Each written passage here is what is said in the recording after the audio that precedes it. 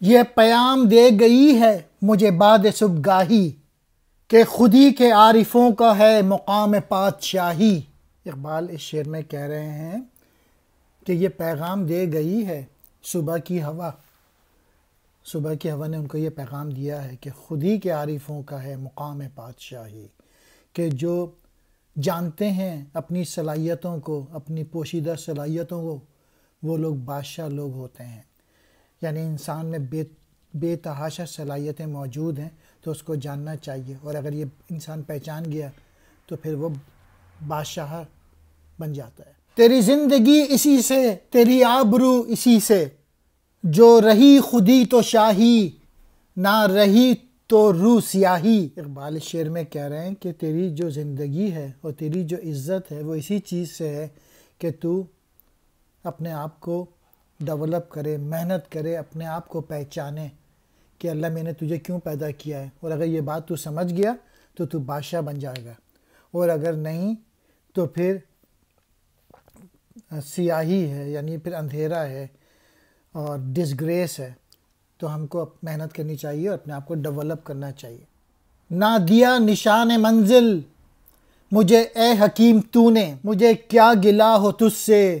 تو نہ رہ نشین نہ راہی۔ اقبال شعر میں کہہ رہے ہیں، اے فلاسفر، تو نے مجھے منزل نہیں بتائی۔ مجھے تجھ سے کوئی گلا بھی نہیں ہے، کیونکہ تجھے خود نہیں معلوم کہ کہ نہ تو تو اس راستے میں بیٹھنے والا ہے اور نہ ہی تو اس راستے کا مسافر ہے۔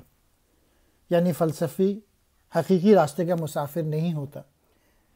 میرے حلقہ سخن میں ابھی زیر تربیت ہیں، وہ گدا کے جانتے ہیں۔ راہ و رسم کچ کلاہی اقبال کہہ رہے ہیں کہ ان کے شعر و سخن کے حلقے میں ایسے درویش موجود ہیں جو بادشاہوں کے طریقوں سے واقف ہیں، لیکن ابھی ان کی تعلیم مکمل نہیں ہوئی۔ ابھی وہ تربیت حاصل کر رہے ہیں۔ کچ کلائی معنی ہیں بادشاہت۔ یہ معاملے ہیں نازک۔ جو تیری رضا ہو تو کر کہ مجھے تو خوش نہ آیا یہ طریق خان کا ہی اقبال کہہ رہے ہیں کہ یہ نازک مسئلے ہیں اور جو تیری سمجھ میں آئے وہ کر، لیکن مجھے یہ پسند نہیں آیا یہ خانقاہی کے طریقے کہ یہ جو مولوی حضرات پڑھا رہے ہیں مدرسوں میں، یا پھر آپ سمجھیں یہ فضل الرحمان جیسے جو ملا ہیں، ان کے طریقے اقبال کو پسند نہیں آئے۔ لیکن اگر آپ کو پسند ہے تو ٹھیک ہے، آپ وہ کریں۔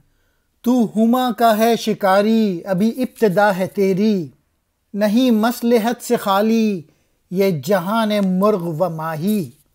اقبال اس شعر میں کہہ رہے ہیں کہ تو ہما کا ہے شکاری۔ ہما ایک پرندہ ہے جو اگر کسی کے اوپر سے گزر جائے تو وہ آدمی بادشاہ بن سکتا ہے۔ بہت یہ خوش قسمتی کا اشارہ ہے یہ۔ اقبال کہہ رہے ہیں، لیکن ابھی ابتدا ہے تیری۔